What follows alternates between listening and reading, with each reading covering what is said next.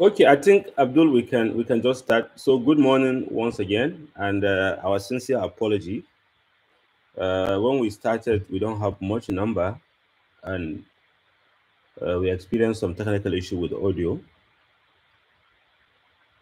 So I I had a look at the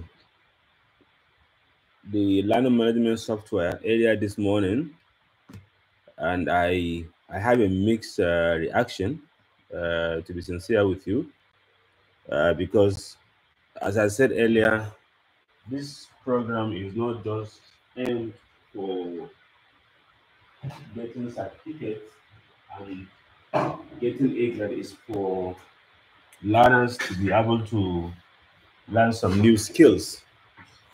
Yeah, when I look at the the numbers uh, shared uh, through the system, I observe that the first CA have the highest number of visitors, over 15,000 visitors, while the other links have just around, I think the highest we have is 8,000, uh, followed by the one with the 5,000. So please uh, don't worry too much about the assessment, worry much about the learning content.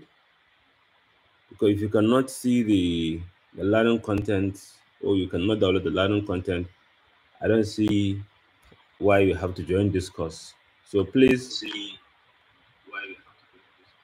uh, remove your focus towards the learning, I mean, towards certification, but focus more on learning the content. Thank you.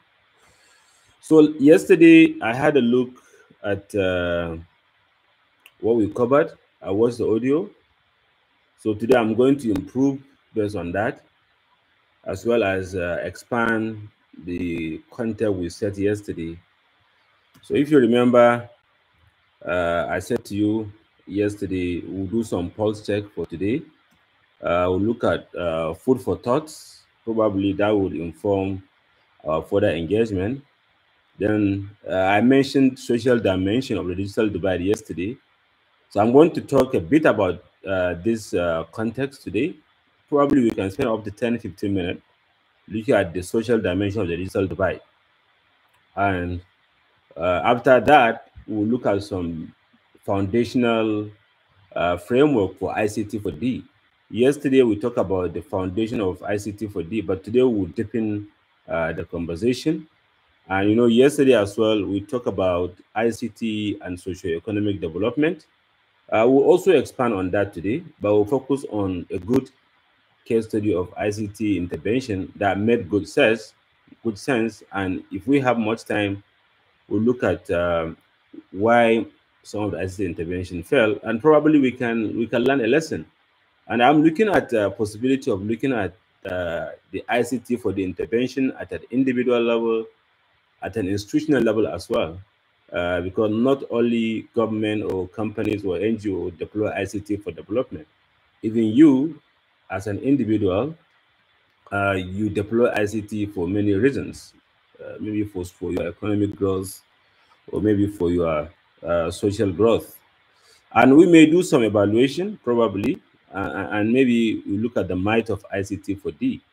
So the reality is uh, most of the ICT for the champion assume that as soon as you put computers in the school, uh, the learners will begin to learn.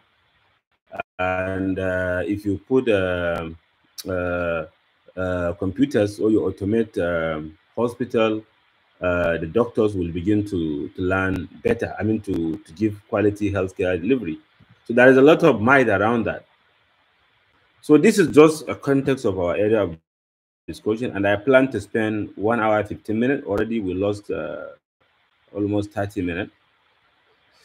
So I don't think uh, I'll waste much time here, but if you have um, uh, QR code scanner, I would love you guys to, to scan this QR code uh, while I run my Menti.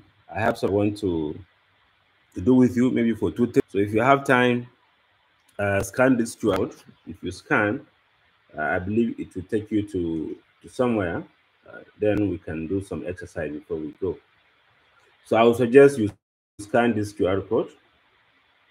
uh, if you can, each, you know. So if you don't have the QR code, uh, go to, I mean, I've opened a new page, menti.com. Uh, scan the QR code if you can. If you cannot scan the QR code, just go to menti.com, menti.com, and put this uh, this code. If you have the, if you don't have the, uh, if you don't have the, if you have, you can go on there. Yeah. You there? You should have something like. You should have something like that. Yeah. Yeah, I think people are responding already.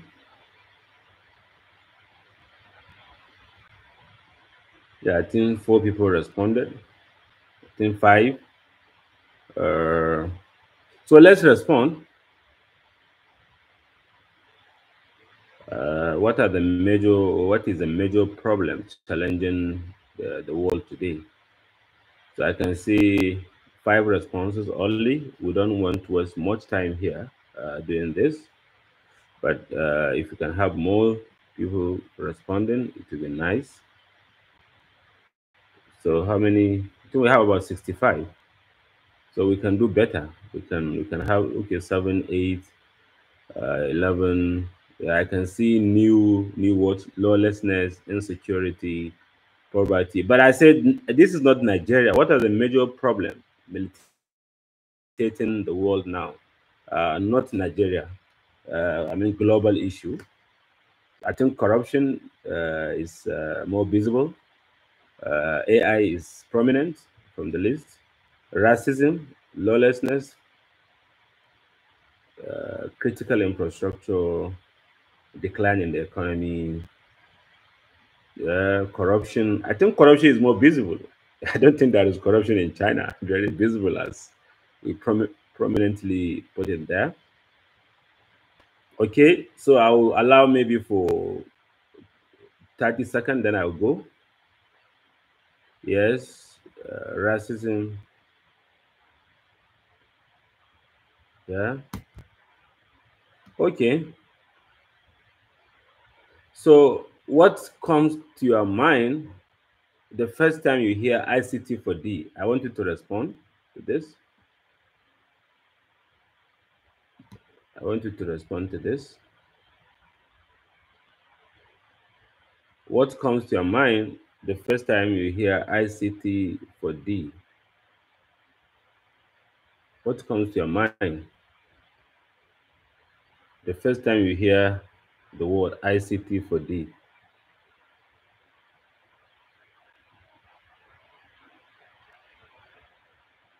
Development, communication, technology, development, uh, technology, development, teaching ICT, technology.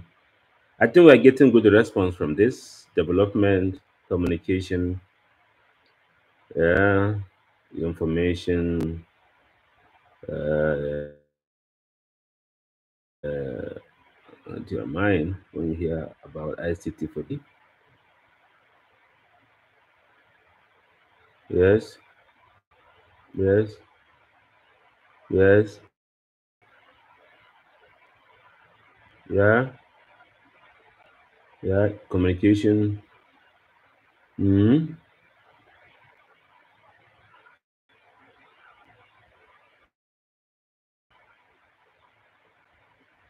Okay, good.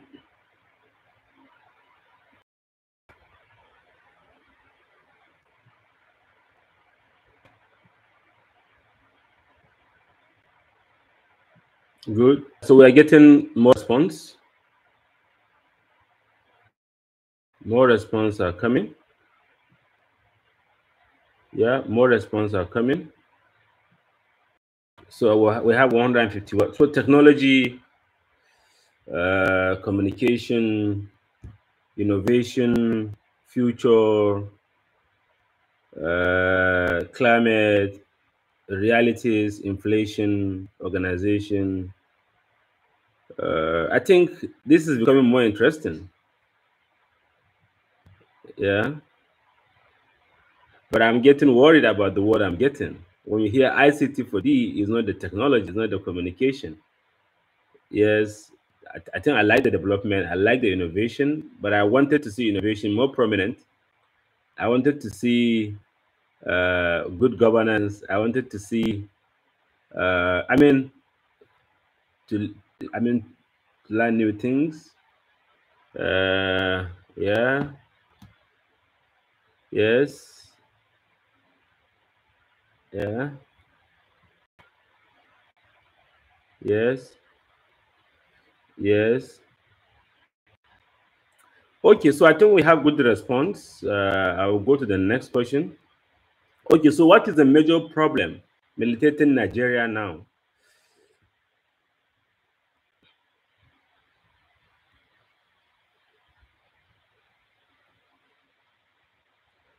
Okay, so I have the last question for you. Can ICT be used as a potential tool to address development problem or problems?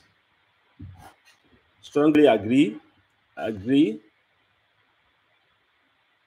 Yeah. Mm.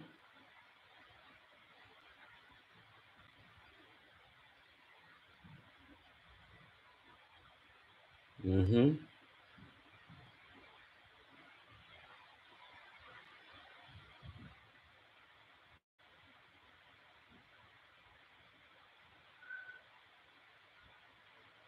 I think we're getting good feedback. So I think majority of you are hopeful that ICT can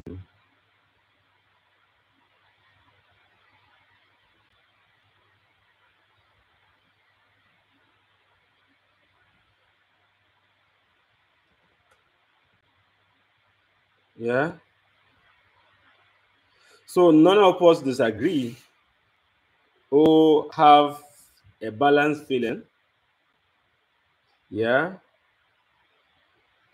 Okay, so thank you very much for taking part in this uh, exercise.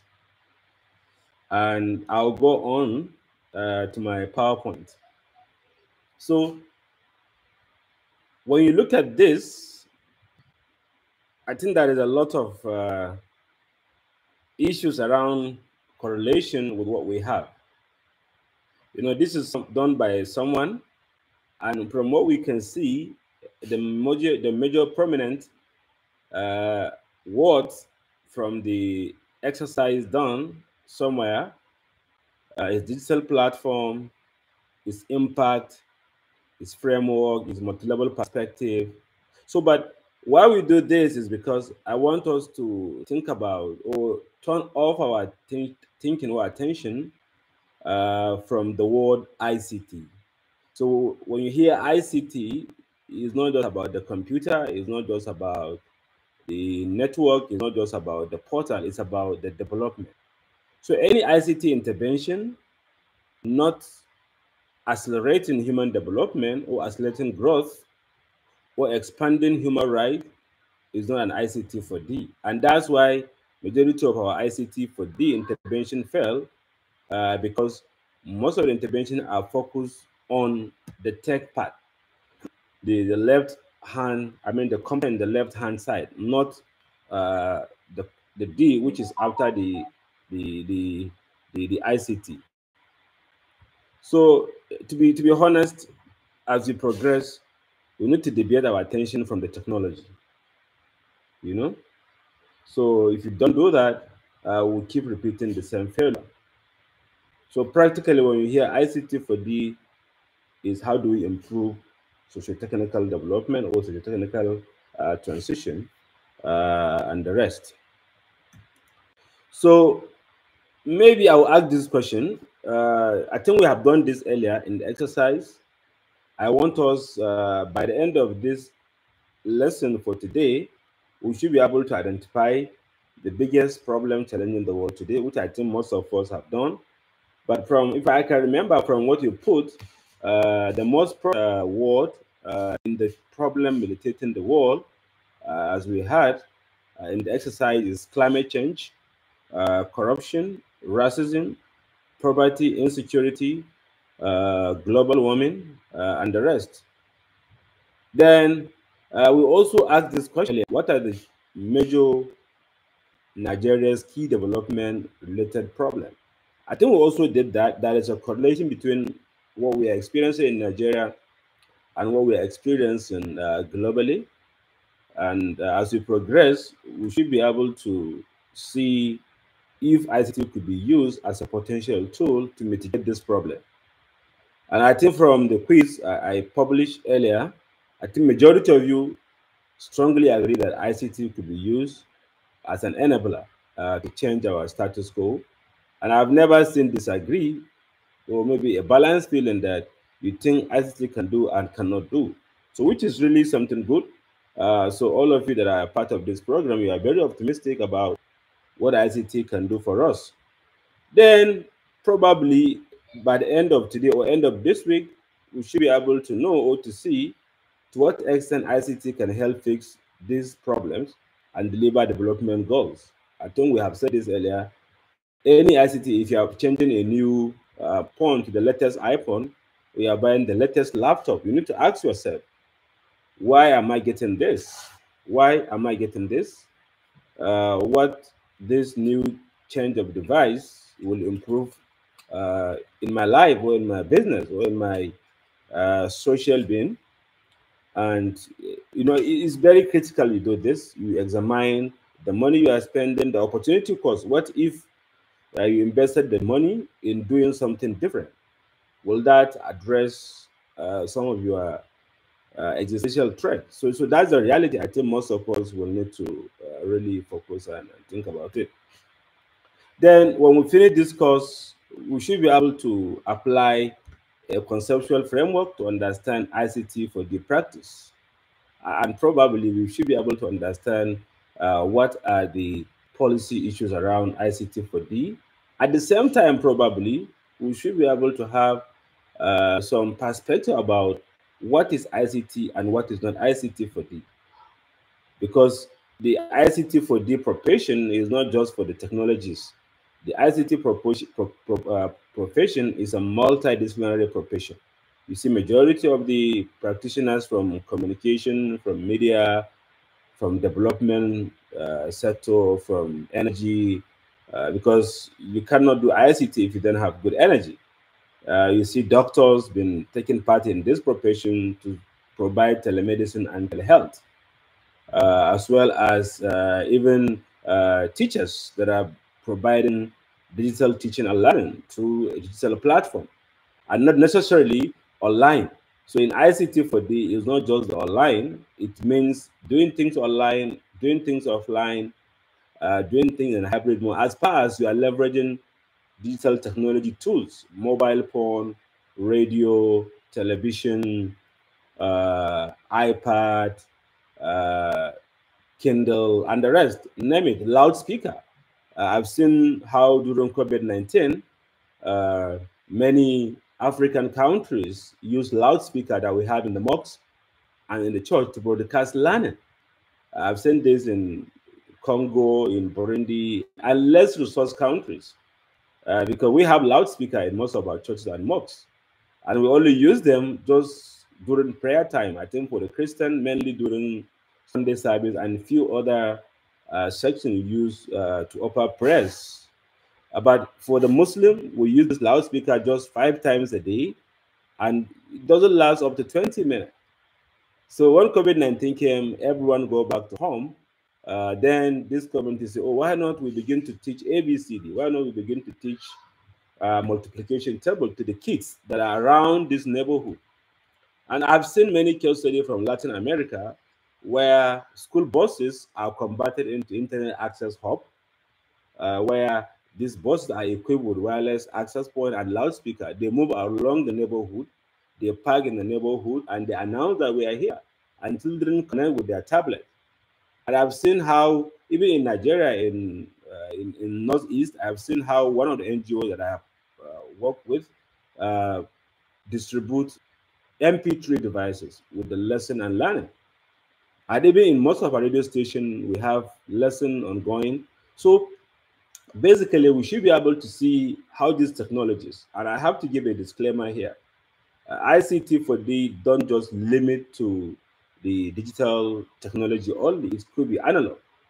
You know, I've mentioned loudspeaker, I've mentioned MP3, uh, I've mentioned, name it, any means of communication where ideas, knowledge, or data or information could be transmitted uh, to support human development.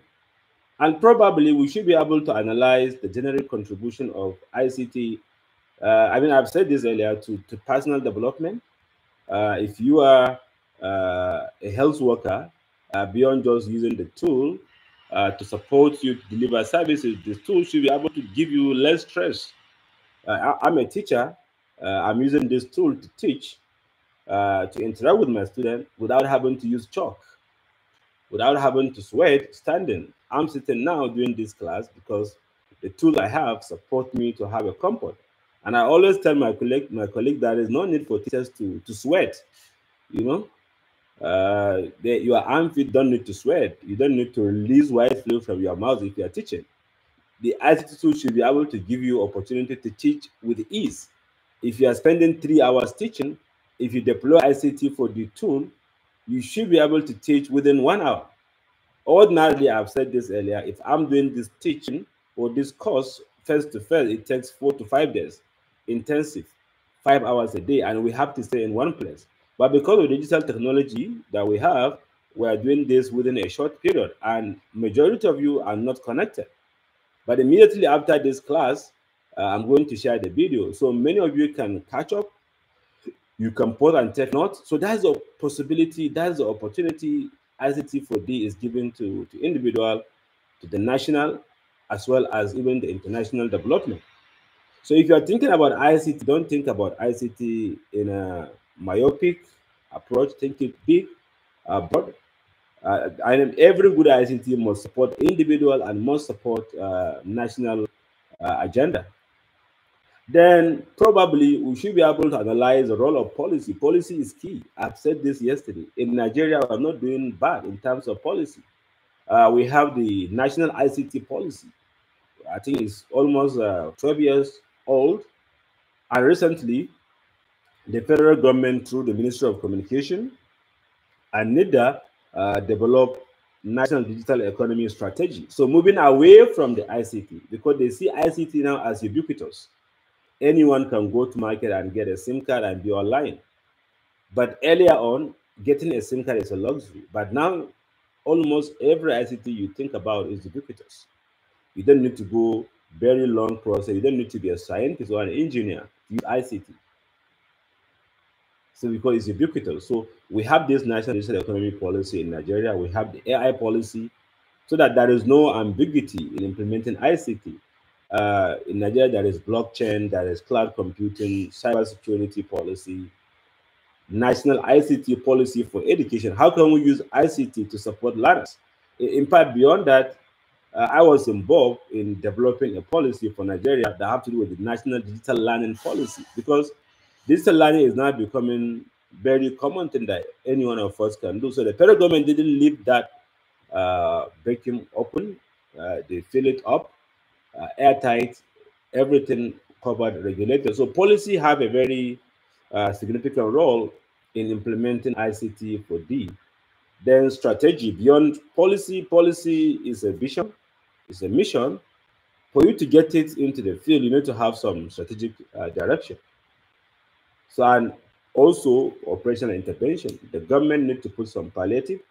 Uh, they need to put some incentives to, to support uh, early investors into uh, this infrastructure. If you put a 4G network tower uh, in a community where they have just about 50 uh, residents, that it would not bring revenue uh, to the telco. But because government want to go on to the no one left over strategy, uh, you see almost every location have this tower providing service, even though the telco are not getting good revenue. I think Nigeria is uh, trying very hard to see that everyone been connected with the national broadband policy Nigeria set up. And the plan is to accelerate uh, 4G at the same time 5G. And as you all know, Nigeria know they carry last. So I think in terms of connectivity, yes, we're not doing bad because of the intervention government put together.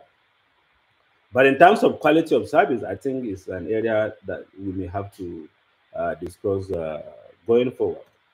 So, and maybe after this uh, engagement, we should be able to identify some roles around ICT for the intervention. Who are the ICT for the champions? Uh, who need to do what? Who need to do what? And who need to support what? Uh, because every stakeholder within the ICT for D cycle have a role. It's government role to put a policy and ensure the policy is being put uh, nicely into operation.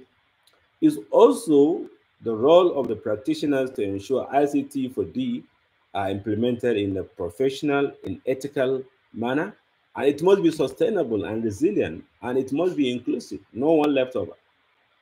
Then it's a role of the users to ensure that this technology are being used based on intended uses. Uh, for example, I work in a university. I ensure that there is internet in my university, there is computers, but I cannot regulate I cannot control what people do with the computers. If they use the computers just to watch YouTube or to watch pornography uh, or to use this tool to accelerate their learning, it's their own cup of tea. But from the background, uh, we could be able to monitor or tweak or adjust the amount of bandwidth being used by these users. That's the only thing we can do. So users have a big role to play in ICT for the intervention. If government decide to put uh, online taxation system, if users decide not to go to online pathway, is their own cup of tea if government decides to put digital learning platform and the learners are not going there, the government have no uh, way to enforce that because it's, it's their own personal uh.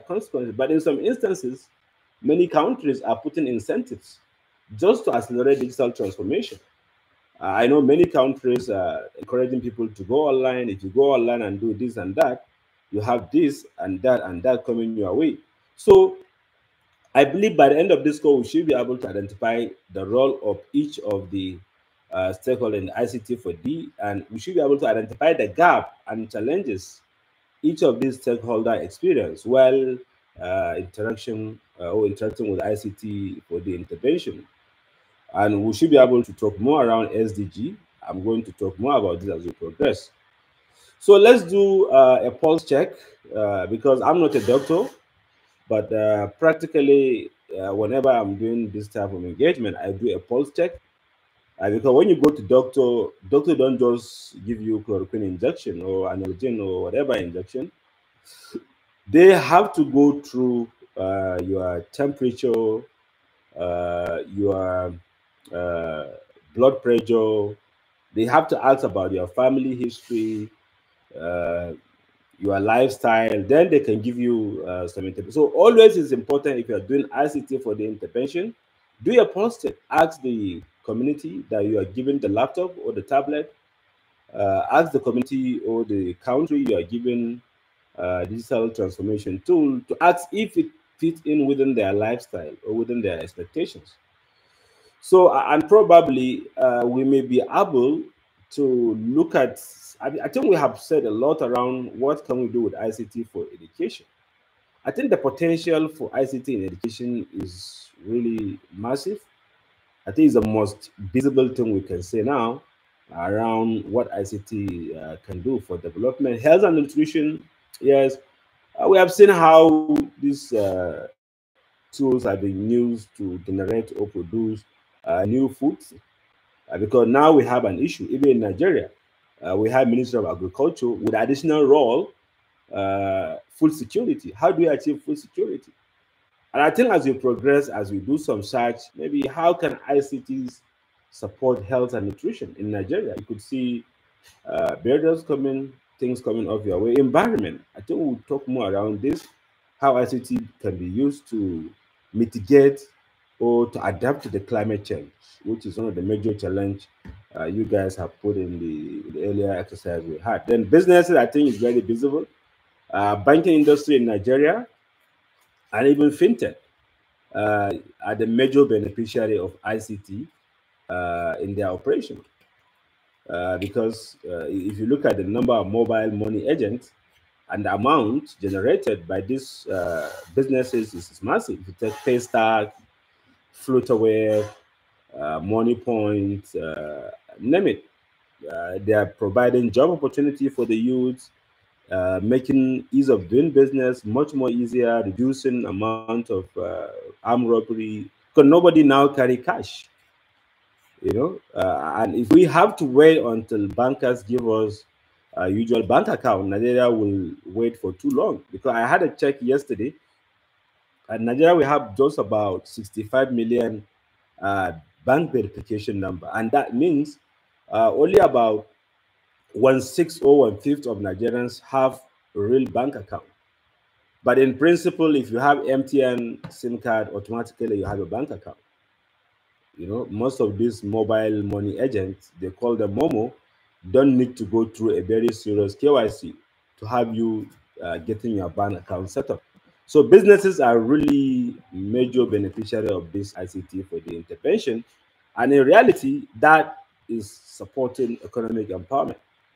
Uh, because if you look at the number of the users or the youngsters getting their daily bread from uh, money points uh, or maybe uh, uh, uh, easy, I mean, easy money, you call it, that massive, and that is supporting economic growth. And then good, good governance. I think a lot of work has been done around this in Nigeria, but we can do more. we have seen how uh, bank verification number, IPPIS, uh, GIFMIS, and the rest, supporting government to save money. And probably as we progress, we could see how uh, corruption will become uh, less more visible because in the exercise we had, most of you mentioned corruption as a major problem militated in Nigeria. Then how do we improve security? Uh, because the number of police we have in Nigeria is not enough. Uh, if you take the number of police that are carrying madam's bag or guarding Oga's house, in reality, we don't have much now. Even the military, you could see military taking madam's bag, uh, driving Oga's car, and the rest. Uh, I mean, we see all these jokes about the internet. So if you take them off, and this is the area where I and my mentor, Professor James, work around uh, uh, with the Defense College and Mathematical Center, where we are modeling uh, ways through which ICT could be used uh, to reduce insurgency. Elsewhere, the security is no longer leveraging guns and machine guns. Uh, war now is more of a cyber warfare. And for you to have a safe nation, you need to have digital technology put together to safeguard your environment. And I know most of you in your houses, uh, you have CCTV camera, uh, you have barbed wire connected to the electricity to a mini computer so that you can deter intruders from coming to your house because with ICT tools, you don't even need to allow for investigation. And that's why in our neighborhood, we have police uh, posts, you know, you have checkpoints. So you don't need to go through checkpoint if you have a very, very serious digital infrastructure. And, and I mean, elsewhere, if you travel, if you see a policeman, a British policeman, probably he's equipped with over 10 to 6 cameras taking photo of who is moving, taking audio signal, sending back to data center, processing the using machine learning and neural network to prepare for any emergency. And you have seen how um, how uh, youngsters that are intended to put a bomb or create uh, mayhem in a society been trapped. I mean, if I'm a security personnel, by just going through some people's Facebook or their WhatsApp status, I can just take them to interrogate them. Uh, because if you run machine learning and sentiment analysis in social media, you could be able to drive some bias of what people are saying. And with that, you should be able to put a policy system in your country. And I've said this many times, if I have opportunity to talk, you cannot fight security with a gun now. You fight security with system, with data and evidence. So you have to go into diagnostic approach. Don't even allow the mayhem to happen. And a lot of case studies are out there for Nigeria to learn. And even for we, for us as individuals, if you put a CCTV camera in your house uh, with a sensor, with a intrusion detection, with motion sensor, as intruders jump into house, uh, maybe there is special recognition, maybe there is motion sensor. It make an alert, and that guy will just have to go. It's an early warning for him. Then gender, I think majority of our sisters are not part of this digital economy. But how do we uh, support women to be more active in this economy? And what are people with special need? How are we taking them through this uh, program? And I asked this question last time when we had meeting. So we have gender and inclusion coordinator for this ideas program. How are we going to support this? I think it's a point of discussion, see how we, we can support them. Then geography. What of a lady a lot of work going forward need to focus and that's why i would love to see ai uh, supporting uh, hard to reach area so uh, you i want to uh, a brainstorming section at your free time you know reflect how can we use ict to support all these uh, verticals and i think we have a lot of case study uh, for us to learn then let's talk about SDG. Uh, you know, I, have been talking about this word since yesterday. Uh, we have 17 goals set up uh, very long time ago, and we just have about six years to get to the expiration of these goals. Uh, the reality is the United Nations and other stakeholders, uh, our countries is a signatory to the SDG, and practically uh, almost every agency in Nigeria have role to play towards actualizing uh, these uh, 17 goals. So, but if I ask this question, do you think in the next four years we may have no poverty in Nigeria? Can we have zero hunger by 2030? Can we have good health and well-being? Can we have quality education? When I said this to you yesterday in my state where I came from, only 1% of the youngsters are achieving minimum proficiency level can we use this tool to accelerate this learning poverty? I mean, to reduce this learning poverty, gender equality, clean water. You know, how can we have affordable energy? I've seen many of you complain about about power, about electricity. How can our youngsters? How? How can we have decent job for these youngsters? Because unemployment is high, inflation is at its high. I think about 35 percent then how can we have, you know, quick response to climate action? What if we have flood? What if we have fire? What if, how can we stop flooding? I think I've said this very, very well. How do we improve the level of our ocean? The ice is dissolving. The mangrove forest is becoming uh, more open, open forest now. How do we improve justice, equality within our system? How do we reduce racism? I think someone mentioned in the exercise we had, racism is a major problem uh, of Nigeria. Yes, I, I, mean, I agree with you. But how do we stop all this? How do we fight uh, insurgency with the support of ICT for D? You know? And if you look at these uh, 17 goals, uh, I, I, would like to take them one by one. If you take goal number one, no poverty, a lot of interventions are, are really, really ongoing, you know? Because in reality, we have over 2 billion people in the world that have no bank account. Over 2 billion. If people are not getting bank account, that means they are financially excluded. And that means they may not be part of the digital economy. But digital economy is a cashless economy. You know, you have seen uh, when the federal government decided to change our currency, you know, cash trap, people become hopeless, become uh, restless. And the digital platform failed to, to work because of the pressure. So, but I know a lot of work is going on to reach this uh, first goal. I know Bill and Melinda Gates, uh, International Telecommunication Union, uh, and the rest of the organizations are working tirelessly to see that we have a good financial inclusion system in our country. There's zero hunger.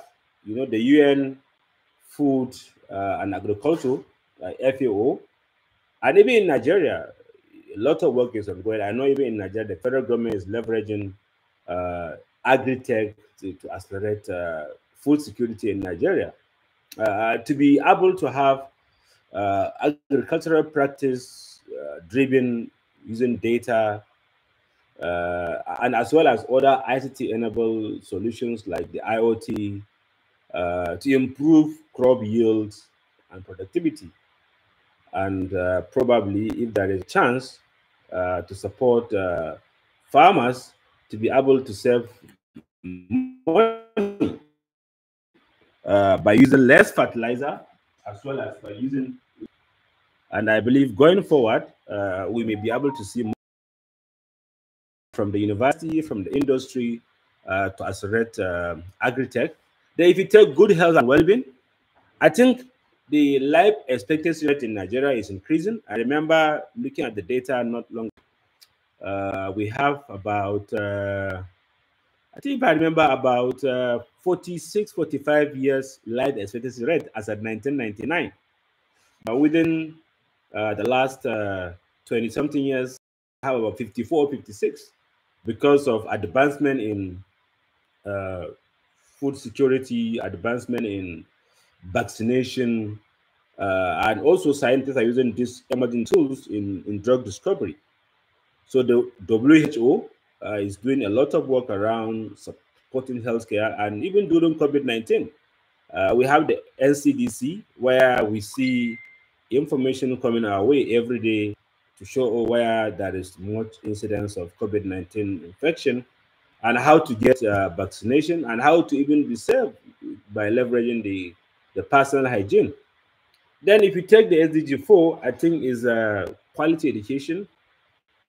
Uh, I remember about three years ago, just before COVID, uh, we hosted uh, International Telecommunication Union, the chair of the ITU for Africa, Andrew Rugege, together with the chair for the International Labour Organization. They visited us, visited our university, where we had a discussion about possibility of uh, reducing or improving uh, quality education. I do at the same time productivity of our institutions. And you know, a lot of project has been launched by the United Nations. I was involved in Generation Unlimited. It's launched in Nigeria. Uh, uh, reimagine education, uh, and is championed by UNICEF and ITU and even Giga Connect. Giga is a project run by ITU in Nigeria where all schools are they mapped and they were put in a pipeline for the possibility of being connected to the internet uh, to support data sharing, M&E, and the rest. So if you have time, you can just search Giga, G-I-G-A. Uh, ITU is, is one of the prominent, but to be sincere with you, we are not doing well with this Giga project. We're not doing well around that. Um, many neighboring countries uh, and uh, equality, uh, the data coming out of our way is not good. I think if I remember, only about 62% of men have access to the internet. About uh, 57 of female have access to the internet. So which clearly means um, 43% of women in the world have no access to digital technology or have no access to the internet, while men have just about uh, 38. So that gap is, is really big. And this is uh, not good. If you take the least developed countries, 31% uh, of men have access to the internet, while women 19. So if you take something like Nigeria, so only about 19% of women in Nigeria have access to the internet. That means completely uh, they are cut off uh, of the digital economy ecosystem. So, I mean, if you have time, you can search gender parity index uh, that have to do with education, with access to the healthcare, access to even loan. So, how can women have access to banking facility? And I didn't do this research, and I think someone, maybe one of us, can do this research to see how many women in Nigeria have access to bank account. Uh, if you look at it, you clearly see that women are not really being taken care of. Uh, then if you take the goal number six, clean water, how do we, how can we have a more better way to reduce water waste? Uh, I remember talking to a friend sometime in December, he's an Indian guy, but been in Nigeria for 35 years. He said to us that India is undergoing water crisis. and India banned rice uh, exportation out of experience uh, sharp increase the rice price in Nigeria. And India said we are no longer producing rice because every bag of rice we produce out of India uh, is costing us uh, thousands of gallons of water. So it's better for us to, to be safe.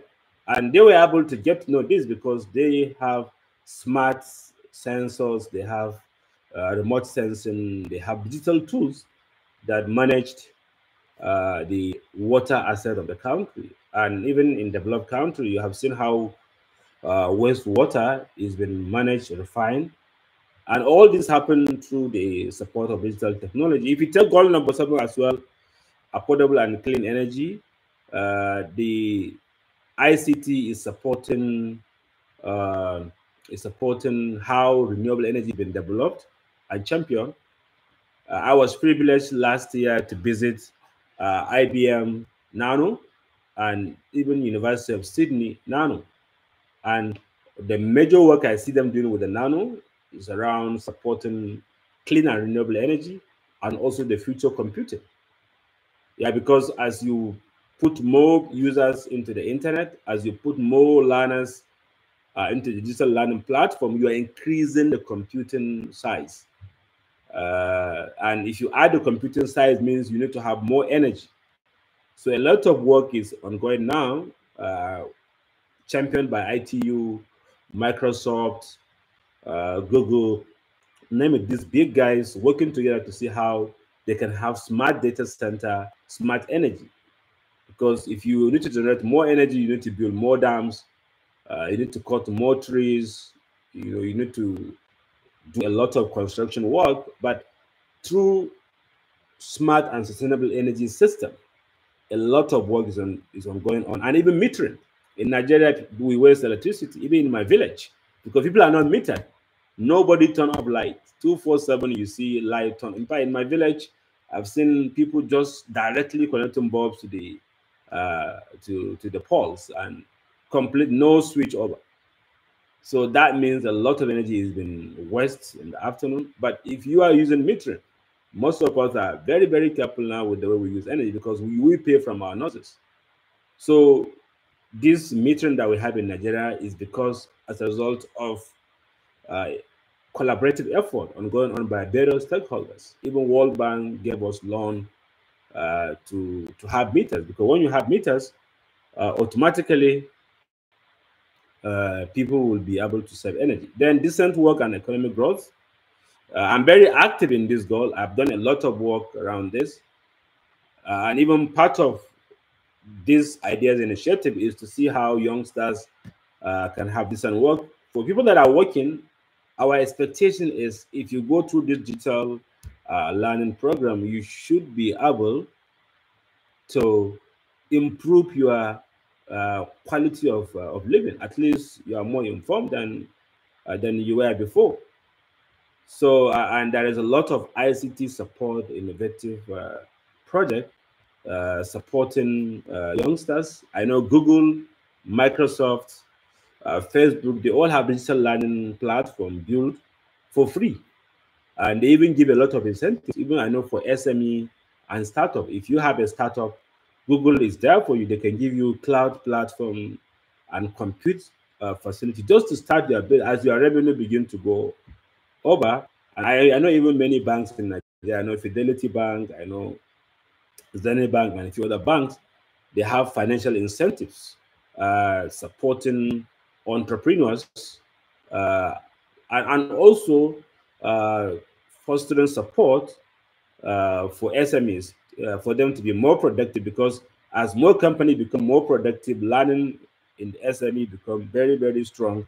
The SME will begin to provide quality and better uh, services to the customer. So ICT is being used very, very widely uh, to achieve uh, SDG number eight. And this is a work that I know uh, even the federal government is, is doing on now. Apart from this ideas program, I think it's about $200 million grant I mean, loan from the World Bank to support digital skills development. There is also another one called iDice to support creativity. And I think this program is championed by Ministry of Creativity and Culture. and beyond that, there is also a recent program launched by the federal government. I was privileged to be part of the event uh, in Gombe about three weeks ago.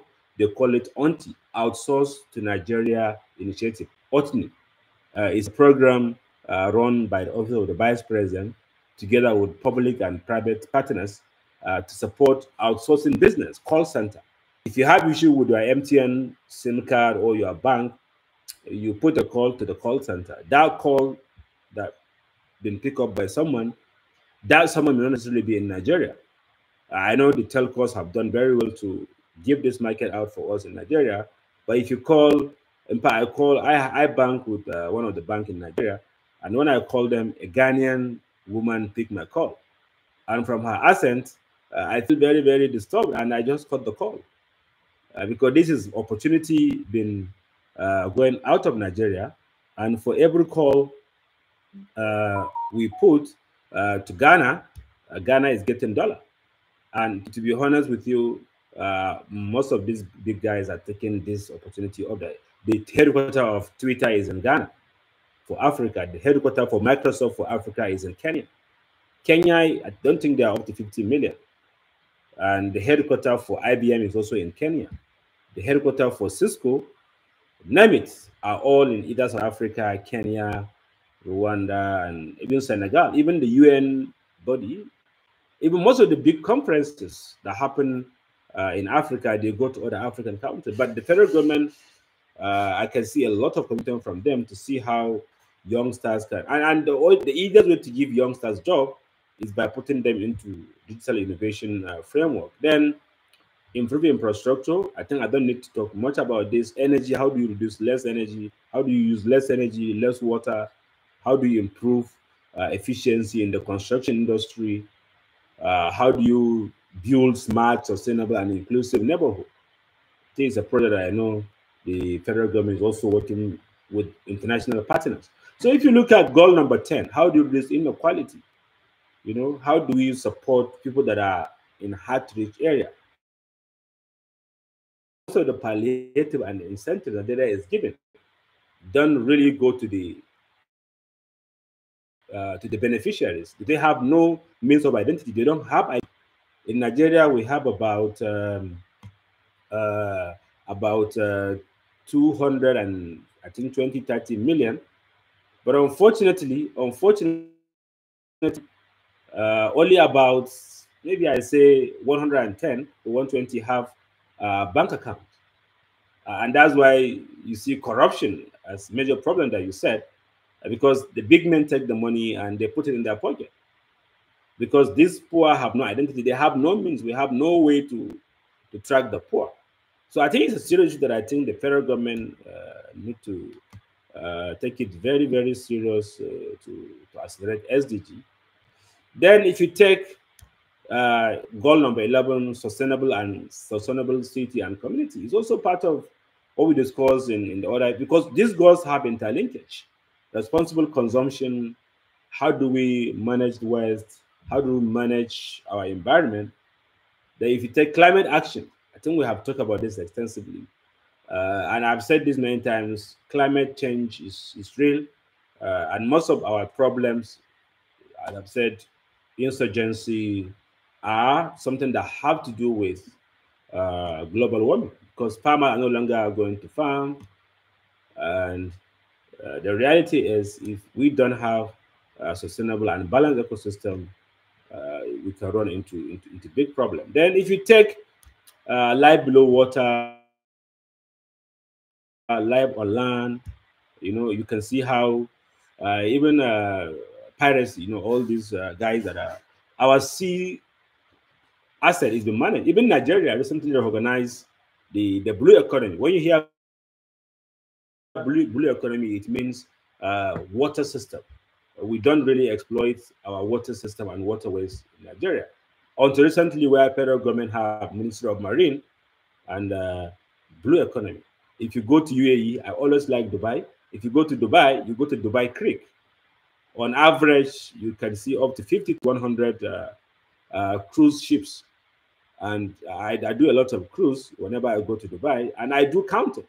I was talking to one of my mentor, Professor James. One day we cruised uh, by the Dubai uh, Creek. And we counted 21 people working in one ship. Uh, from the bar attender, from the guy serving the food, from the captain, uh, the, the, the chief, uh, from the dancers, the belly dancers, uh, the DJ who is controlling the uh, the music system, uh, from the ship control system. Over 21 people working in one ship. So on average, if you say 21 people working in one ship, there may be 50 ships. If you add the number, it's big number, and you count how many people ride or do the cruise a day. Each ship can take up to 100 to 250 uh, guests, and maybe 100 dirham. 100 dirham it's about $36 now, if I can remember, and maybe around 30,000 naira. So it's a big, it's a big economy, blue economy. Many countries are leveraging their waterways. Uh, I think in Nigeria we had the the Baro port where federal government dredged the river. Uh, I had experience Baro ports, something that I don't like telling. So I think uh, how do we leverage, how do we use this water system to make it more clean? And with the digital technology, you can have sensors put around uh, to measure the quality of uh, Latin America and Asian countries, ice fish. And they are cheaper than the fish that we harvest from our neighborhood. Catfish is, I think, more expensive than uh, the ice fish we buy, I think, in kilogram, because we did not harness uh, our, our waterway. So it's important if we can begin to think about how can we use digital technology? I have a friend recently that I met uh, in, in his university. He's looking at developing sensors that will tell or measure the quality of the water. And government can use that to, uh, to accelerate the marine ecosystem. And one of my friend, Dr. Bamanga, uh, who happens to be a staff of, is the deputy director now at NIMASA. We are all and did PhD same time with him. I, I got to know this blue economy award the first time from him in 2012. And as I'm talking to you now, he's currently attending a conference run by International Maritime Organization. And all what he is doing is around how do we harness our marine system? Because if you go to Niger Delta, uh, very heavy, uh, very long waterway, but we don't really use them. And uh, if you don't harness the resources around your neighborhood, uh, it's a big issue. If you go to Arab countries, if you visit Arab countries, you go through the desert to do uh, safari. So I think there is a lot of work around uh, leveraging life on land and life below the water. And I've seen a lot of uh, interventions. People are building zoos. Uh, people are dredging fake river uh, with aid of digital uh, innovation. So please take time, go through these SDG goals. They are very, very critical ecosystem that I think we need to explore. If you have time, if you have time, please, um, if you have time, please uh, go to this YouTube. I think I've added YouTube channel uh, in the uh, below the the the goals. Uh, this YouTube I mean, channel, if you can click on it, I'm going to share this with you immediately after this class, so you can you can you can uh, have a look at it. So uh, I'm seeing some of your engagement. I think Abdullah and the team will definitely respond to some of your observation that you put together. So ICT and SDG. So if, if you look at SDG and what ICT is doing, uh, for the SDG is practically things around uh, how do we support uh, these indicators, how many youths over adults are now using uh, ICT, and how many people own a mobile phone, uh, and how many, how much kilometers, or is it available in every community, and, and the rest. So, and if you look at how many people are connected to the broadband internet, I don't mean 2G or broadband, high speed internet. And these are indicators that uh, as you progress, if you go to the SDG website, or you just do a simple Google search, a lot of work has been put together uh, to, to support ICT, IC, SDGs for ICT. so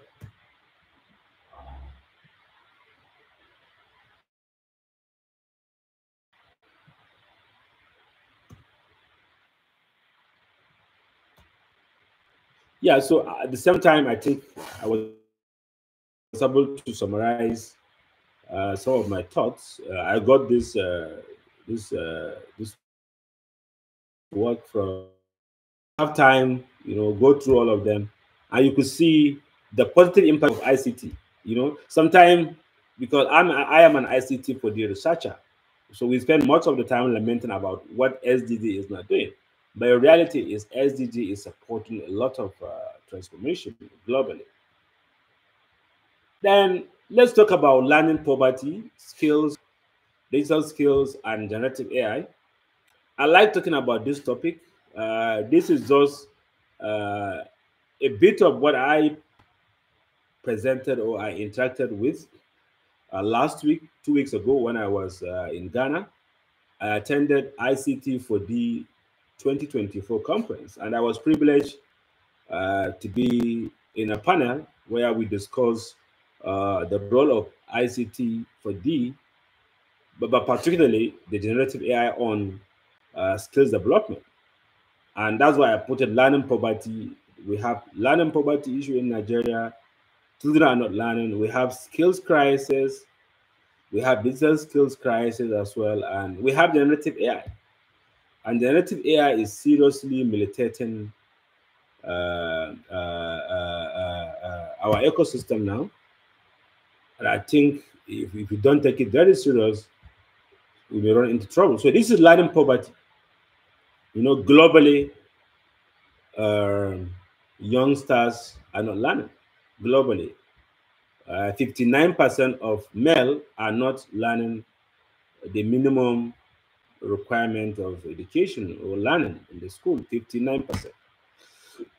You know, but learning poverty happen more uh, in, in, in male. Male are not learning, but women are much more learning than, than the men. So it's a big issue. If you know globally, in every country you go, half of the children are not getting the right skills. And it's not only a Nigerian issue. If you look at uh, region by region or continent by continent, Globally, it's 56, 58. But if you look at sub-Saharan Africa, 84% of our children that are going to school are not learning the minimum arithmetic that they need to learn. And 88% of our youngsters and children, they are not learning how to read better.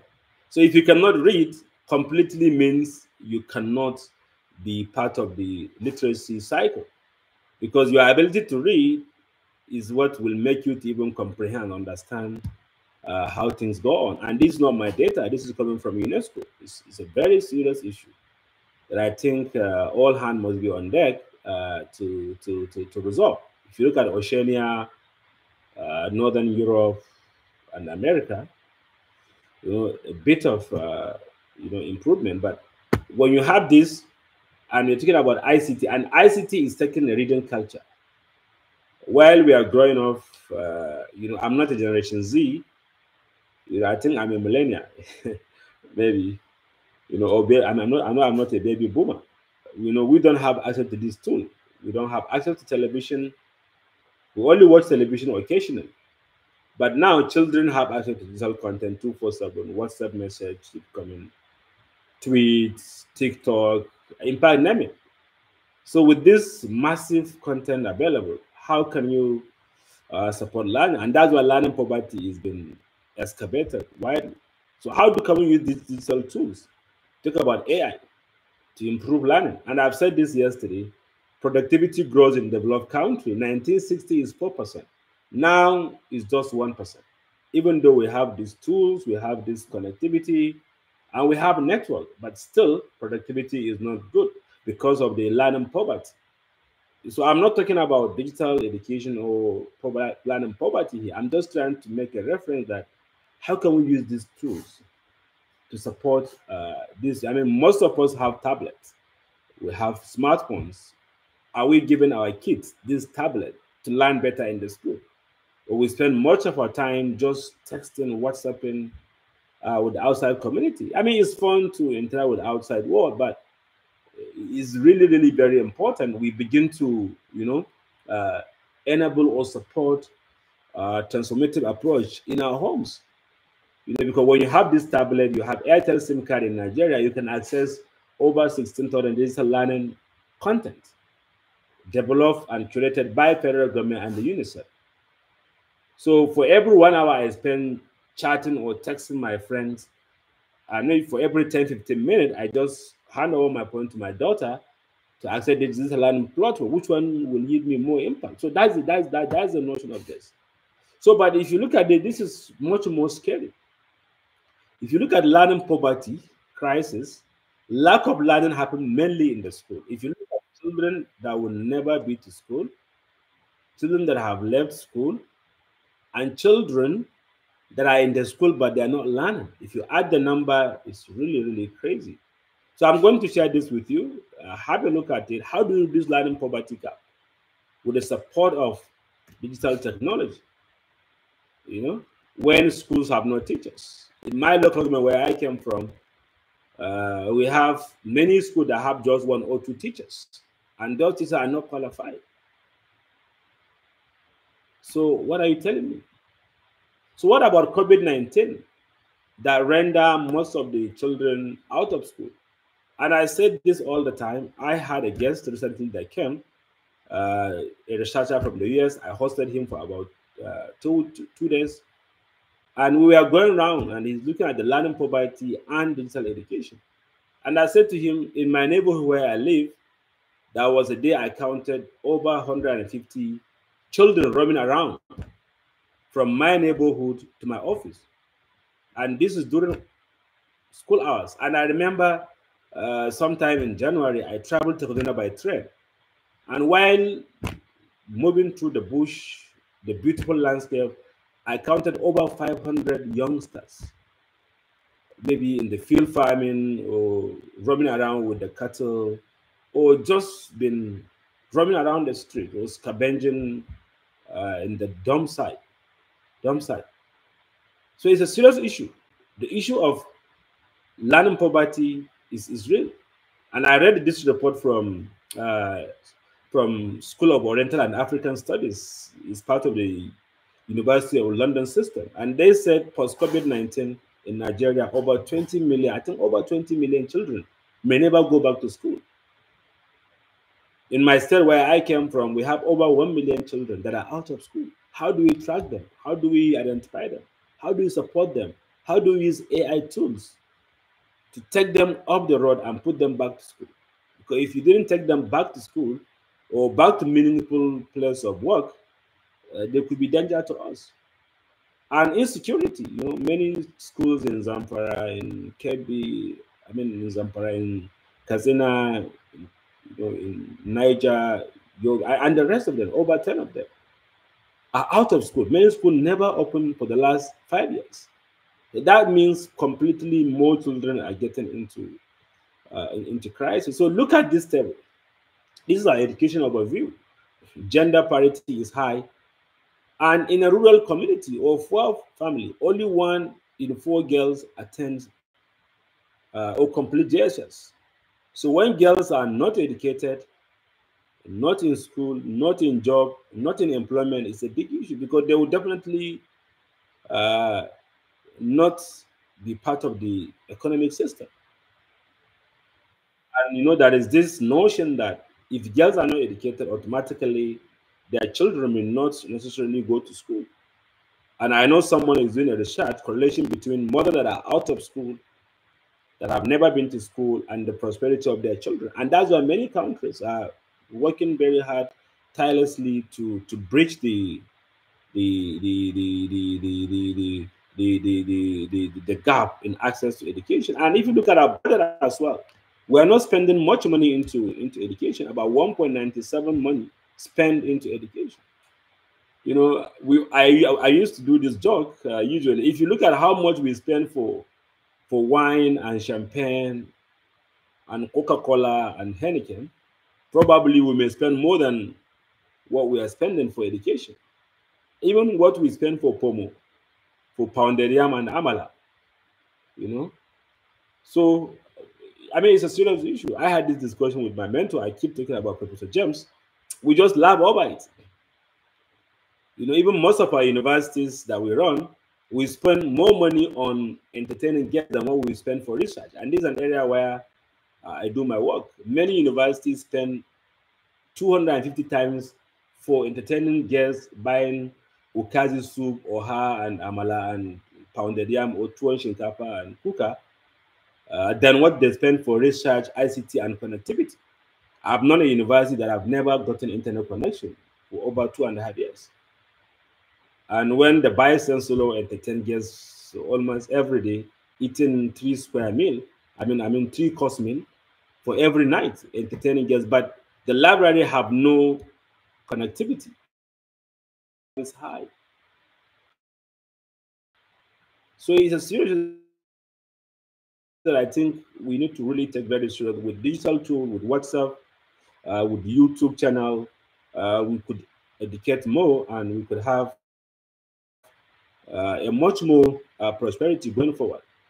Then, if you look at the skill mismatch, I got this uh, data from one of the presentation by uh, the World Bank. It's one of the recent. so, education have crisis. How can we use this advanced tool to address to this problem. I'm not going to waste much time into this, so you could read on your own and, and comprehend. Then, if you talk about the the category of uh, people that are with our ecosystem, children that are in education, how can we use this tool to support children that are in that, are in education? How can we give them a skill, you know, with, with, with this tool? What of children that are out of school? How do we bring them back to the skill system. We don't talk about the schooling because we haven't gotten money to, to school them. What of children that are already out of school, they have graduated, but they have no job to do? At the same time, what of people that are not in the school, not in employment, and not on any training? How do we this? How do we enable them to be skilled? Because I like this word, the skilling. Yes, I know how to do handwriting very well, I used to get more marks from my teacher because I can write very well. Now it's no longer relevant. But if you are learning online, is your ability to to to to, to type very fast is what matters now. It's not about handwriting. If you know how to write, yes, it's before, but now you need to learn how to how to type very fast. So how do you the skill? Things that we know, yes, we know a lot, but is that helping us? If I know how to do, I mean, divide the x, or I know how to do painting with my hand. Now it's no longer by hand. It's by leveraging emerging. Talk about 3d 2D. So how do we enhance current? I think what we are doing now with you is not just a new learning, but uh, it's more like we're enhancing your learning. We are hoping going forward, going forward, uh, you could use what we learn or what we are doing together of your uh, uh, uh, expectations.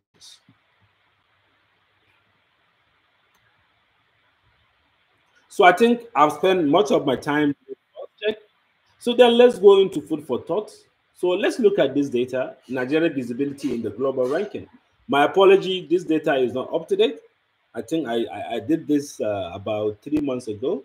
So um, I, I sincerely apologize for not going to the website to to get most recent data. But I think most of the data are, currently uh, still uh, similar. So Nigeria with over 200 million people, the best GDP in Africa. We are number 31 best economy in the world in terms of GDP ranking, as curated by uh, International uh, Monetary Fund. And you know, over 198 million active telephone lines, in Nigeria and 286 connected lines. You know, and the density is 104%. So which means our tables, our dogs and cats probably have SIM card. So an internet user about 184 million internet users as of 2021. And if you look at 29, because I'm tracking this indicator, so we are adding more users into the internet, over 50 million social network users. I think now it's over 100 million. social media users in Nigeria. I had someone talking uh, about Facebook users, about LinkedIn, about what. So a lot of people are now using social media, but in terms of human development index, Nigeria is ranked 161 out of 189. And if you have time, go to the internet and search HDI by UNDP. You could see a massive information talking about uh, the SDG and the UNDP. Then Human Capital Index, we are ranked 153 out of 157. And in 2020, 2018, ranked 152. So we are going down. So we are just basically above Chad, I think Central African Republic, and uh, I think Niger, if I can remember. You know, South Sudan. We are just on top of them in terms of capital index. And that human capital index, if you go to the internet, you do a heavy search, you could see the component that come together and have the uh, the HCI. Then in the World Intellectual Index, the WII is not World War II, it's World Intellectual Index. Nigeria is ranked 129 out of 114. That means we're not curating our community. And that's why last year I applied for uh, partnership and we got a partnership with uh, World Intellectual uh, Property Office It's one of the UN office, and together with the help of my colleague, uh, we delivered uh, summer school supporting youngsters to have idea around how do we protect, how do we register, how do we curate our intellectual property. And this year, uh, we are hoping to also do similar, and we're even thinking of expanding it. Up. I think that's the only physical summer school we had last year in Africa. And I think out of the five that we had globally. So Nigerians are not registering their patent, their copyright, uh, their ideas. If you go to patent registry, your patent per head will not rank there, even though we are too creative, but we take it for granted.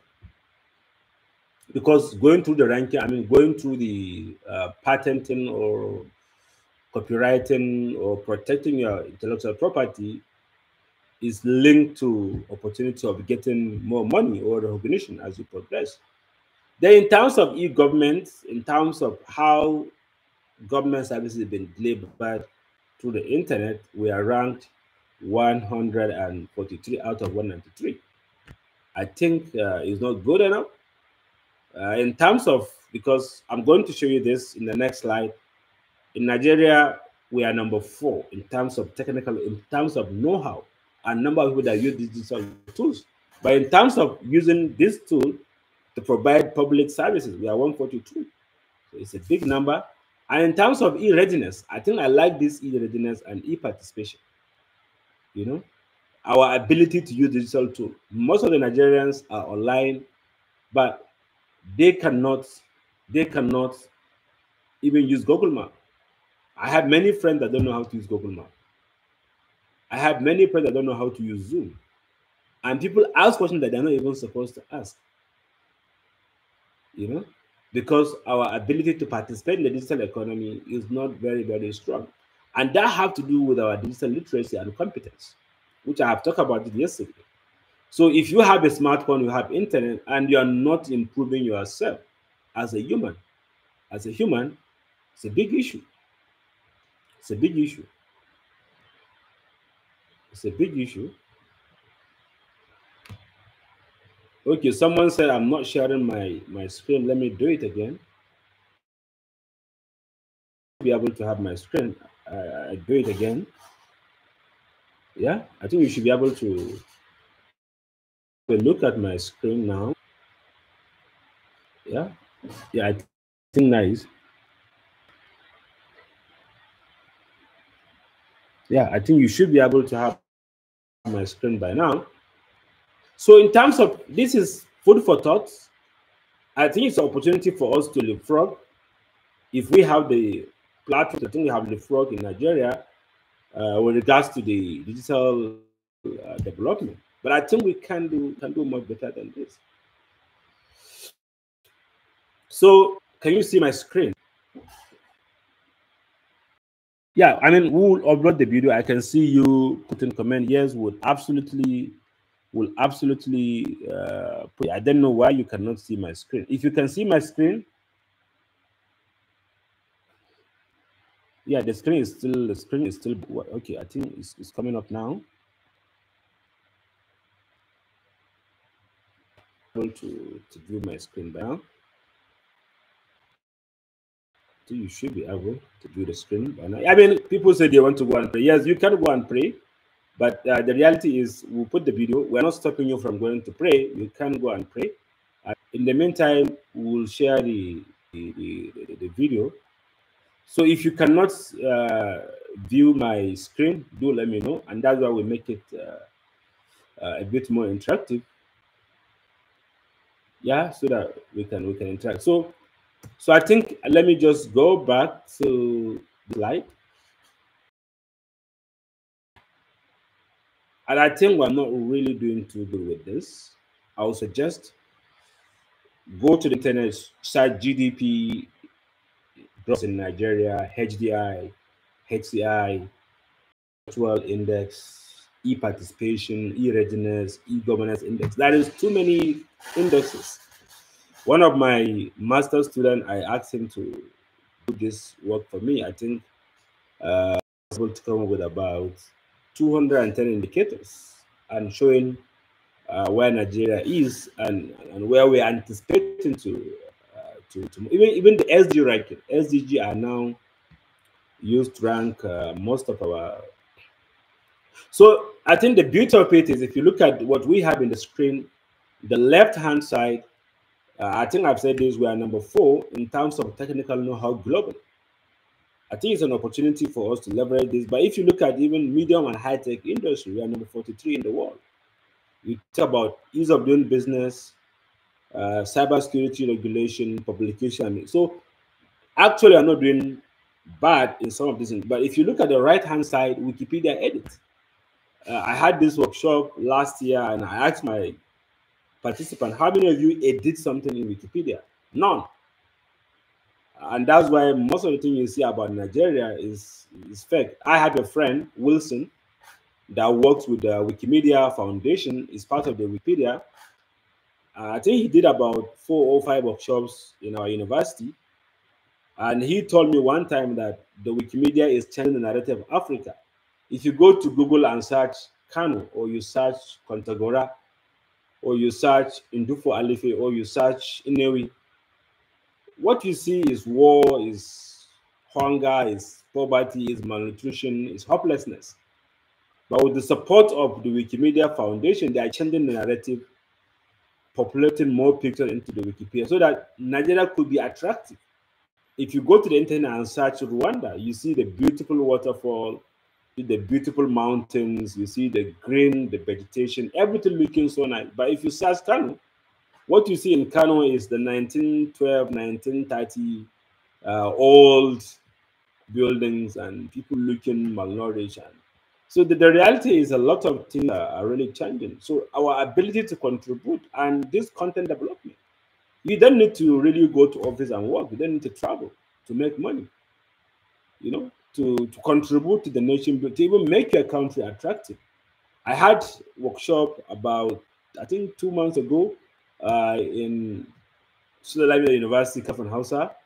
And I think over 300 to I think over 300 students in the workshop. And I asked them, how many of you are making up to $100 per month? And none. I said, okay, $50. I think only one or two guys put their hand up. And I say, if you have mobile phone and you have internet and you can generate content, you can easily uh, begin to make money you can crack job and make money. You can put a song, you can become a social media influencer. So, and the reality is, majority of us just use this tool to broadcast hate speech, to to to excavate danger, and you know, and, just just just uh, you know. So, as I said, there is too much opportunity for for us to to really really uh, begin to to make a difference uh, with the support of these digital technology tools and there are tools that are so ubiquitous and, and easy nobody taught you how to do whatsapp And most of these tools that you can use to make money or to support yourself, they are as simple as WhatsApp. They are as simple as, uh, as Facebook. No, but the reality is ICT4D is not supporting uh, the poor. ICT is only supporting institutions that are already strong. And I always used to ask this question. Are we building a world we want with ICT in Nigeria or maybe in your village or in your house? So I think it's a question that most of us may likely need to, uh, to ask. And I like working with uh, data. Uh, this data I got from SMEDAN. SMEDAN stands for Small and Medium Development Agency.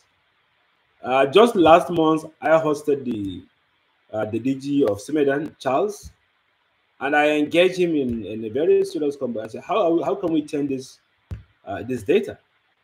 Uh, majority of our companies, I think 99% of our uh, SME have an average uh, less than $50 per month. So if most of your companies are not making more than $50,000 in a month, I mean, 50,000 naira in a month, it's a big issue. Even though the data is a bit old, but nothing really much change you know? So if you look at the medium enterprise agencies 0.01 percent just about 0.1 percent. Then you look at the small enterprises that employ up 10 to 49 so most of us what we do we are not really running a business micro business uh, maybe just buy rafa and we put it in our whatsapp status and say we are doing a business and i did a work for one of the united nations agency I, I visit uh, the east uh, around Onitsha, Aba, here. And when I ask somebody, what's your profession? They say, I'm a trader. Very few of them say they are businessmen. Uh, majority said we are traders because they are just trading. You know, just taking wrapper or buying bag of pure water, get ice and put, just pull it up and sell. You are not adding much value. You know, if you buy water uh, you take a flavor, you make it into maybe ginger and uh, maybe zobo or maybe something. Uh, so you're adding value. You could you could make more money by not just taking the water and just add water and sell. So if you just go to Aba and buy rapa and cut it into five yard and sell, you're not adding value. But if you have a tailoring a machine in your house, you do a tailoring you could sell up to 50,000 naira as against what we said maybe 70,000 naira. So value addition is not really, really very much. But with the support of digital transformation, with support of AliExpress, uh, gig economy, gig workers, businesses could leverage branding, they could leverage packaging. You know, I had encounter with one of my friends that does things around food processing. And I said to him, with due respect, I'm not going to pay more because you use nylon bag to tie uh, this. Why not you go to the market and do a proper packaging? Sell it you know put your brand and i mean just make more profit he said but how can i do it? I said but you can do it. Uh, many businesses many business support services are already online. So i think it's an opportunity for for us to think about this if i'm getting 15 naira how can i use digital tool and the beauty of it is uh, with digital platform, I'm talking about e-commerce, uh, e-marketing tools that are online, Twitter. I mean, I have a friend uh, who is also part of this uh, uh engagement. I think uh, is currently connected, and he does a lot of sales by just posting things in his uh, WhatsApp. You know, you don't need to, there is no need to have inventory. You know, as you put your catalog online, someone order you call the main wholesaler and you give the address and you have it. Even last week, I got a delivery for my wife. You know, I she made an order and someone delivered through my office and, and I brought it for her. So a lot of opportunity for youngsters to be part of the digital economy. And digital economy is about building computer center. It's not about building uh, remote uh, workspace. I mean, you can do this. I'm doing this teaching from my from my from my from my bedroom. It doesn't matter. I mean, majority of you are from your shops, from your offices. Uh, some are even from your farm. So it's an interesting thing to see that these tools support SMEs, and we need to really begin to see how businesses begin to. I mean, I had this chat, as I said, with Charles, uh, the DG of CIMEDA, that we need to leverage training of small to medium enterprise owners and even the workers to begin to be more productive. And by that, they could increase their revenue and earn money uh, in the local currency. Then also, if you look at uh, this data also from SMEDAN, uh, when you have over 53% of uh, employment sector in the country doing wholesale and retail, 52% doing bigger than even agriculture. So only about 10% of our population are doing agri because agri is no longer attractive, maybe. Then manufacturing about 13%. Uh, but the most scary part is wholesale. You know, if you look at the population, there is a good correlation. Uh, 16,000 are male, 14,000 are female. So female is uh, 62%, and this one is 45%. So it's a big issue. Although there is issue with the data, but I just have to put it as it is. You know, I got this from CIMEDA. So if your majority of your businesses are wholesale or retail, it means very little value addition. If you take education, and that's why we have learning poverty gap. I talked to one of my former students and he said he's double. I said, but you know how to do digital skill. Why not you begin to say, I want to do tutorial for all the children in my neighborhood. I want to teach you how to do robotics. You know how to do robotics. You know how to fly drone. Why not uh, buy a drone and I gather maybe 50 youngsters from your neighborhood and charge them just 10,000 naira per month and just teach them how to fly drone. Maybe all the photograph. I mean, so there is a lot of opportunity to to, to tap into this.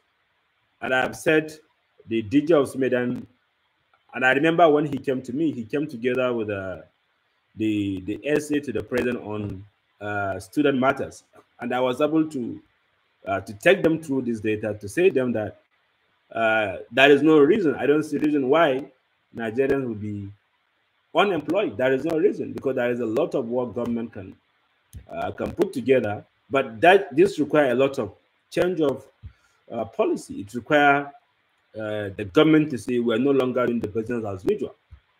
And it require government to put a massive infrastructure. It require the youngsters to be put under uh, a serious uh, model, no longer for the Christmas youth. In fact, one of my brother came to me to say that he got about 750,000 naira from the federal government.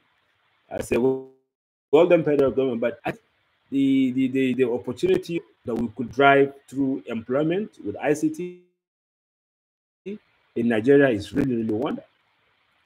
So, and, and, and you know, I always uh, really, really feel bad when I see this uh, picture.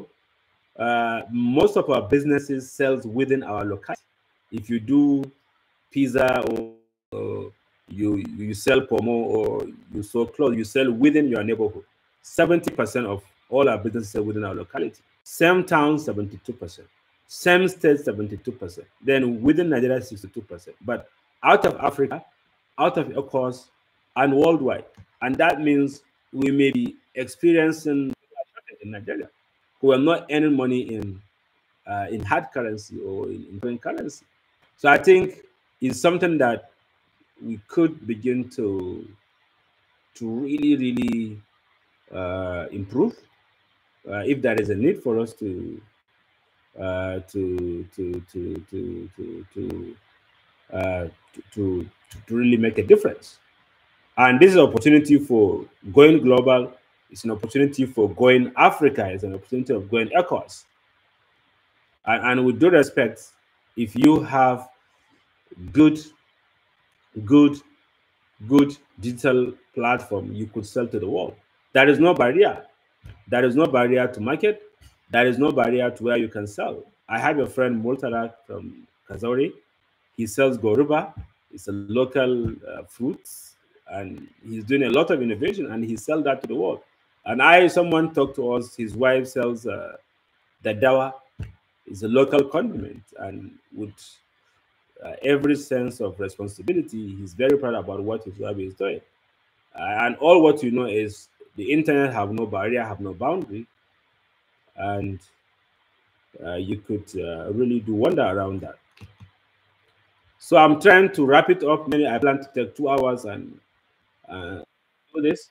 Then let's go to the social dimension of the digital divide. You know, so you know Peter Sondergaard, I like this is called, and I've been using it for quite a while. He said, "Information is the oil of the 21st century, and analytics is a combustion engine." Nigeria, yes, we have crude oil, but we have to take it out from Nigeria to Malaysia, to Thailand, to China, process and bring it back to us as a refined. Too much money for the export duty, import duty, cargo, haulage, and logistics. So I think if care is not taken, we can go through the same process of oil. We have over 200 million people that are connected to the mobile phone, big number of people that are using the internet, social media massive. But the data is being hosted elsewhere, is being processed elsewhere. Revenue is made elsewhere. It's a big issue. I remember in the World Economic Forum of Uh, 2022, the German Chancellor then Angela Merkel said it's not possible. We have to domesticate data in Europe. Data sovereignty. If you generate data in Europe, it must be processed in Europe and you must give tax. The revenue generated from the data must be paid to European countries.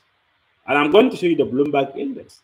As it, so, and then Adebayo Shittu, the former minister of digital economy, I mean communication of Nigeria, said ICT can do better than what the crude oil can do. Yes, I believe in that, but uh, maybe we have to put some some serious effort towards that. And also, I think I've said this. Uh, I got this call from World Bank. World Bank said to us, digital technology had boosted growth, expanded opportunity, and improved service delivery. Yet, the aggregate value derived from this intervention has fallen short and is unevenly distributed. I think from our earlier discussion, we talk about breaking the digital divide, you know, uh, expanding opportunity for the marginalized and the rest. So even though Africa, everyone is connected, from my village, where I came from, almost every youth and youngsters have digital technology. And the aspiration to have digital tools is massive. Uh, I have someone from my village, not well educated, he has been asking me for a job for over three years, and we have opportunity for him to be a security. And I brought him to a place where he was hired as a security, and his first two months salary, he used the money to acquire a smartphone. Good for him, but maybe he's not using the phone to improve his, his quality of life. Maybe.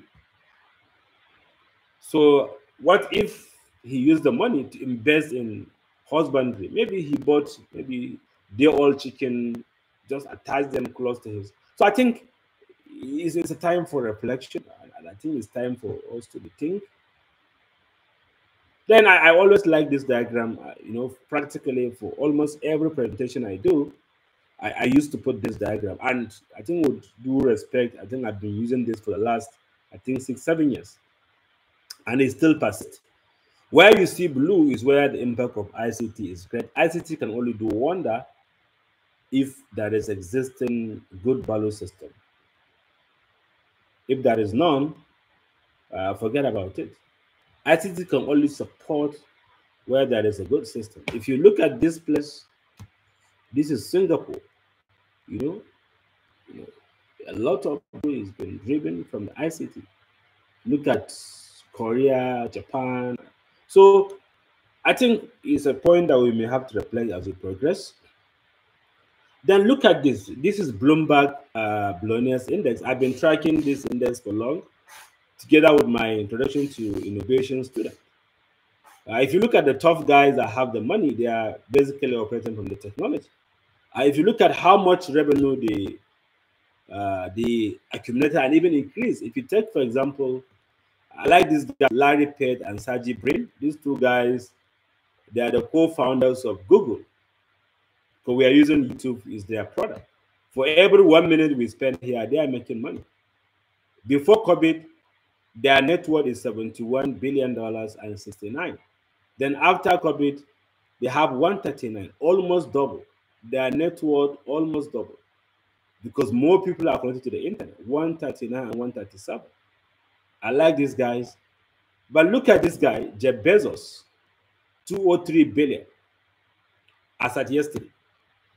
But if you look at 2019 index, he's not part of the league, right? He's not part of the league. And even if you look at the most richest guy, Bernard Arnault, you know, he's doing consumer goods, but you cannot do consumer goods now if you don't use technology. So practically, he's leveraging ICT uh, to make his money. The same thing with this guy, uh, Warren Buffett. He have a diversified uh, asset portfolio. And Mukesh Ambani Energy is an Indian guy, 113 billion as of 2024. But if you look at uh, the old ranking as a 2056 billion, now 113, almost double within uh, five years, because people now need renewable energy. So someone asked me recently, he said, what can I do? He's a young guy, about 19 years old boy. He said, what can I do to be rich? I say, you see, do things around energy, connectivity, and things around digital economy, because there is opportunity there. If you look at these guys that have the money that are, you know, and if you look at this guy, Mark Zuckerberg, 173 billion. You know, if you look at the foreign reserve of Canada, I'm just doing a search. You know, what is the foreign reserve of Canada? You know, to see how much Canada have in their foreign reserve. You know, you know, 85 billion US dollar. That's the foreign reserve of Canada assets now. But this guy have more net worth than Canada. So he is more richer than Canada in terms of you know foreign reserve. And Nigeria, I think we have just about 32,000, I mean $32 foreign reserve. So it's, I mean, it's a serious issue that I think uh, going forward, I'm not rich, but I always like to look at what rich people are doing and how they're becoming much richer. Dangote lose a lot of money. You know why? Because of our productivity. He's not happy. He's one of the most unhappiest guy in the world now because uh, Naira is losing value. I have a Chinese friend. Uh, I break my fast yesterday with him.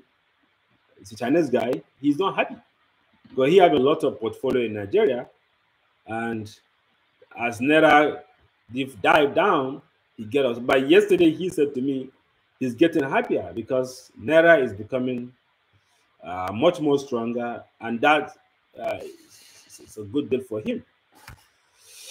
So, thoughts, but I'm not going to talk much around this. I'm going to talk about cells and kites when we go uh, into the introduction to innovation course. But uh, just jumping this, I don't have much time. So, what is ICT? What is not ICT for you? You know, in some time I used to put this Boko Haram, they are leveraging ICT for the tool to accelerate their their agenda, bring back our girls, digital education, politicians uh, using a lot of uh, digital tools to improve their political opportunity. Card reader, using election. So I don't have much time to ask about it, but when you got this, think about this uh, video and say to yourself, which one is ICT for the, which one is not ICT for the? You know?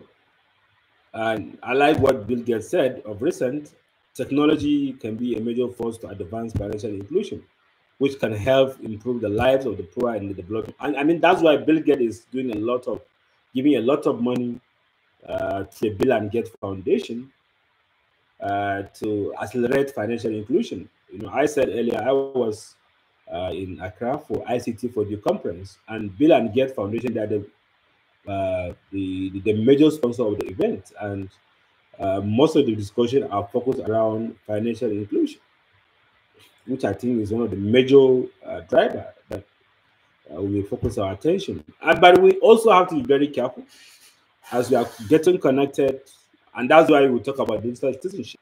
We know what happened in the North Africa, in Syria, I mean, in uh, Egypt, in um, uh, Libya, in in, in, in the, in the other uh, North African countries where youth use the social media to outrun run out the, the current government and things are not really uh, really, really going too well.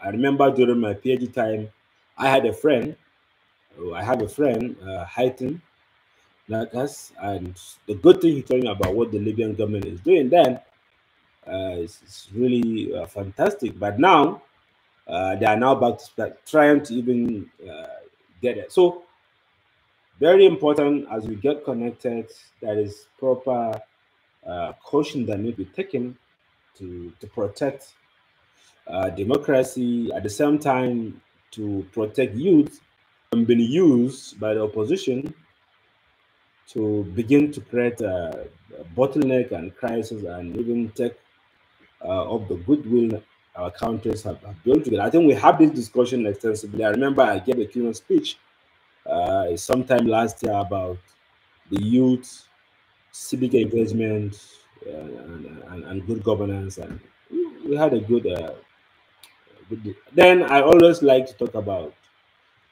Uh, so anyway, I'm going to stop here, uh, but I'm going to share the PowerPoint with you, and next week we'll jump into uh, the the ICT uh, for the, I mean, uh, the innovation, introduction to innovation. Uh, we'll talk more around that.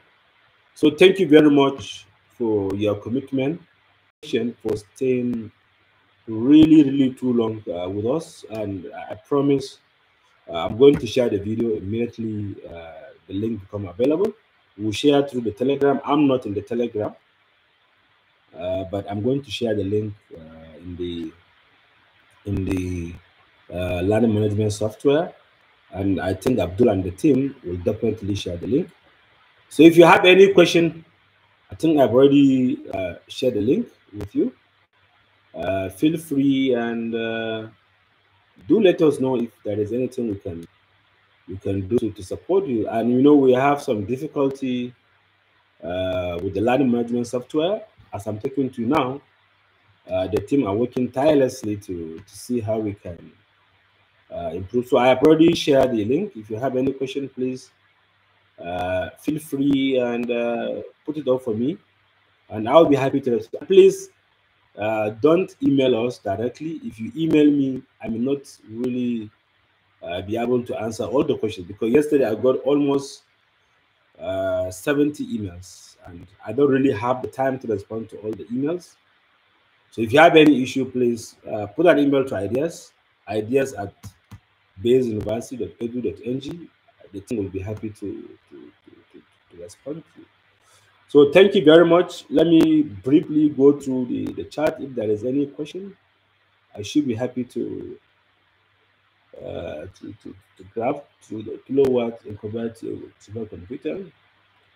I likely want to place classical computers. Uh, I'm not using uh, uh, quantum computing Several Nigerian universities are involved in computational research. Look into institutions with physics or computer science with a potential research opportunity. Okay, from curriculum, what next? Thank you. What about the attendance in that website? It doesn't it does show me. Yeah. Yeah, I think most of the observation you have Abdul have uh, responded. So thank you very much for your time and uh, uh, see you next week on Friday by 11 a.m. and we'll share the link. Thank you.